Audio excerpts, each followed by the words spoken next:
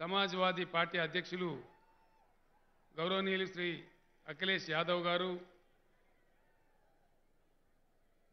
Communist party of India జాతీయ కార్యదర్శి మన తెలంగాణ ప్రేమికులు గౌరవనీయులు డి రాజా గారు. ఇంతకుముందే మనకు సందేశం ఇచ్చి కేరళకు వెళ్ళినటువంటి గౌరవనీయులు కేరళ ముఖ్యమంత్రి వర్యులు విజయన్ గారు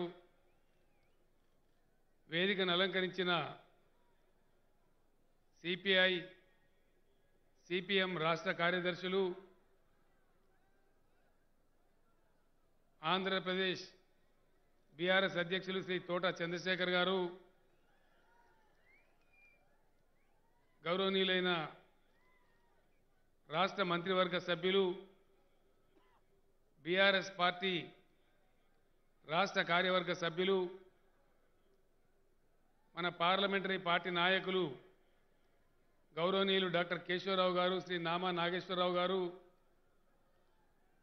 గౌరవనీయులైన పార్లమెంట్ సభ్యులు శాసన మండలి సభ్యులు శాసన సభ్యులు జడ్పీ చైర్మన్లు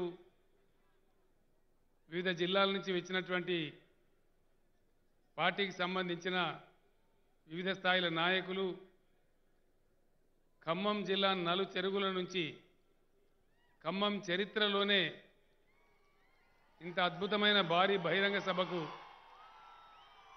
తరలి వచ్చినటువంటి నా ఆత్మీయ బంధువులందరికీ కూడా పేరు పేరున ప్రతి ఒక్కరికి హృదయపూర్వక ధన్యవాదాలు. నాకు కూడా చాలా ఆశ్చర్యం కలుగుతూ ఉంది. మీకు భాష అర్థం కాకపోయినా చాలా చక్కగా ఇంతసేపు ఇంత ఓపికతోని మీరు సమయం కోసం వేచి ఉన్నారంటేనే ఇది ఈ దేశంలో ప్రబలమైన మార్పుకు సంకేతం అని చెప్పి నేను భావిస్తా ఉన్నా.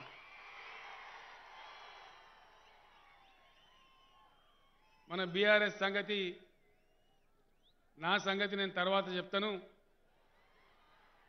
మీ సంగతి ముందు చెప్తాను. ఇక్కడ మీ సంగతి అయిపోతే నా సంగతి తర్వాత. మన కొత్తగూడెంలో పోయి కేసీఆర్ గారు చాలా వరాలు ఇచ్చారు.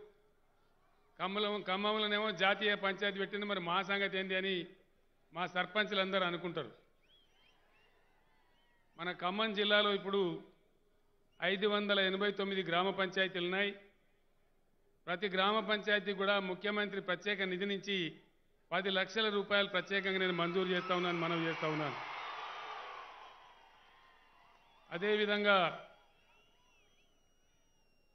ఖమ్మం రూరల్లో ఉన్నటువంటి పెద్ద తాండా కానీ కల్లూరు కానీ ఏదులాపురం కానీ తల్లాడ కానీ నేలకొండపల్లి కానీ పదివేల జనాభాకు మించి ఉండి ఇవి మున్సిపాలిటీలు కాకుండా ఉన్నాయి. మేజర్ గ్రామ పంచాయతీలుగా వీటికి కూడా తలా పది కోట్ల రూపాయలు మంజూరు చేస్తూ ఉన్నాం. వీటి అభివృద్ధి కూడా మన ముఖ్యమంత్రి నేను మనవి చేస్తూ ఉన్నాను ఖమ్మం మున్సిపాలిటీని మంత్రి గారు అజయ్ గారు బాగా చక్కగా తీర్చిదిద్దారు. అప్పుడు తుమ్మల గారు ఉన్నప్పుడే కొంత కార్యక్రమం ప్రారంభమై వారాయంలో కొంత నడిచింది. అదే స్ఫూర్తితో అజయ్ గారు కూడా బాగా ముందుకు తీసుకెళ్తూ ఉన్నారు.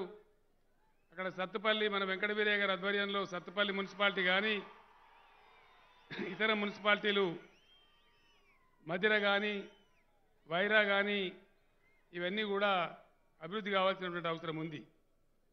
ఖమ్మం మున్సిపాలిటీకి ప్రత్యేకంగా మరొక యాభై కోట్ల రూపాయలు ముఖ్యమంత్రి నిధి నుంచి నేను మంజూరు చేస్తూ ఉన్నాను. ఇక్కడ అజయ్ గారు నాకు పదే పదే చెప్తా ఉన్నారు. మునేరు నది మీద చాలా పాత బ్రిడ్జి ఉంది. దాన్ని రిప్లేస్ చేసి వెంటనే కొత్త బ్రిడ్జి నిర్మాణం కావాలని కోరుతూ ఉన్నారు. అది కూడా డెఫినెట్గా వెంటనే మంజూరు చేస్తామని కూడా నేను మనవి చేస్తూ ఉన్నాను. అదేవిధంగా ఇతర మున్సిపాలిటీలకు కూడా మధిర కావచ్చు వైరా కావచ్చు సత్తుపల్లి కావచ్చు వీటికి కూడా తలా ముప్పై కోట్ల రూపాయలు ప్రత్యేక నిధి నుంచి మంజూరు చేస్తాం.